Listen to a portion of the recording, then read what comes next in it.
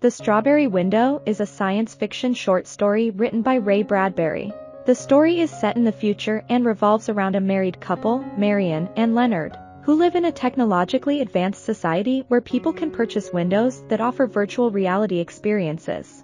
Marion purchases a window that allows her to escape into a virtual world where she can enjoy the sights, sounds, and tastes of a serene strawberry field.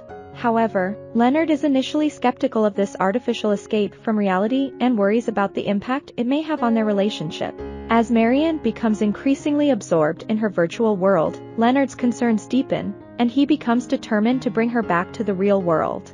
The story explores themes of escapism, the blurred lines between reality and illusion, and the consequences of relying too heavily on technology for emotional fulfillment.